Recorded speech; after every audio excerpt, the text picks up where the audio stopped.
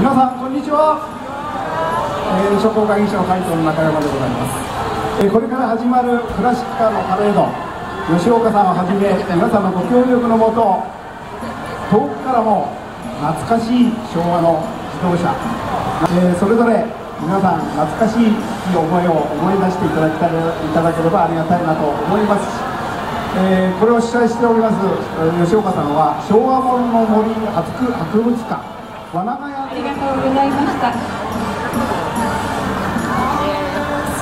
これより車の入場合図を杉浦観光協会長にお願いいたします。杉浦会長どうぞよろしくお願いいたします。それではこれよりパレードが開始されます。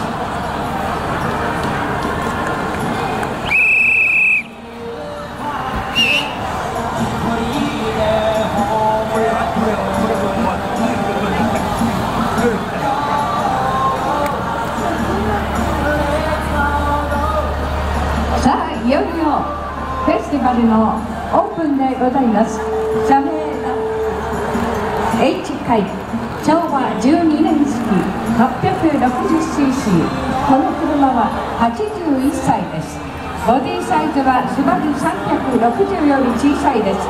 一番の特徴はアクセルペダルが中央にありブレーキペダルが右側で一般とは反対なことです。ボンネットからウィンドウまでが極端に短いために運転席が前に出ていてダッシュボードがすぐ目の前に迫りドライビングポジションがとても窮屈だということです。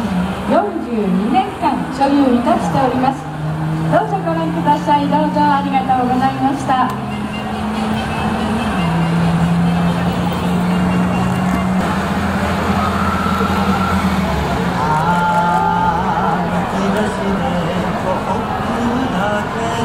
トヨペットクラウン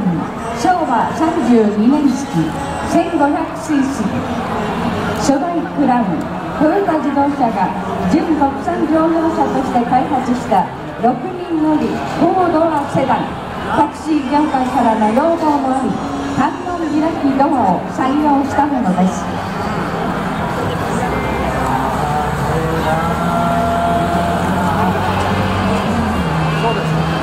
続いて入ってまいりました。シェ 911T デラックス。昭和45年式 2200cc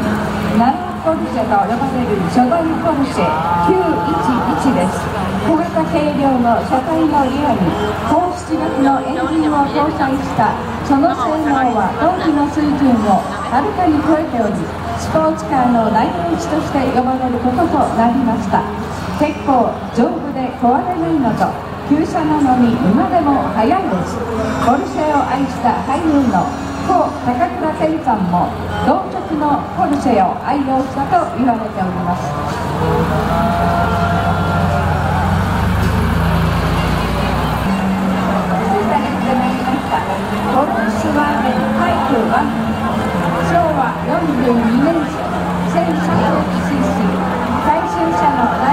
代名詞として世界中に普及したボルクスワーゲンその姿からビートルと呼ばれ親しみました。この車はラストヴィンテージと言われている1967年型です。99%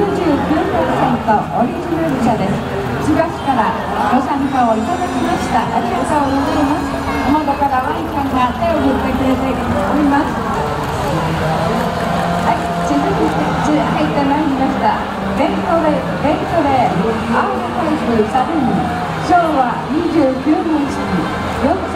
4566cc この車はイギリス本国オリジナル仕様の右ハンドル車で64年前の車両です製造台数は3年間で2320台でございます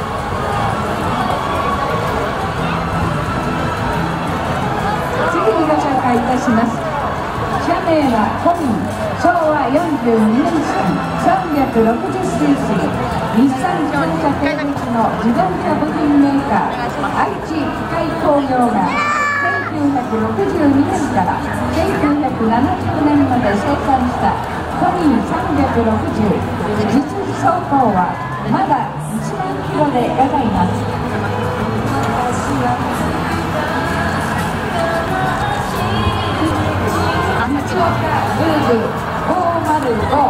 昭和55年式 49cc ですミーター登録で公道が走れるナンバー付きです中免許が必要で公道上では普通車扱いとなります一人乗り排気量は 49cc の珍しい車となっておりますミーターから会社まで車の法定点検整備車検など地元ガレージ湯浅をよろしくお願いを申し上げます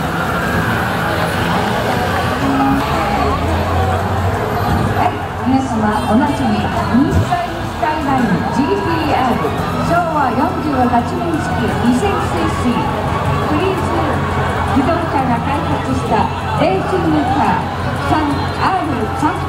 に搭載されていたエンジンを昭和44年からスカイライン GTR が引き継ぎ誕生いたしました。この車は昭和48年1月から4月までの最終型で生産数197台の大変数の少ない貴重なものとなっております。通称フィッピリと言われています。茨城県つくばみらい市からのご参加ありがとうございました。続きましてインスタルスカイライン GTR2003 昭和45年10月セダンのホイールベース7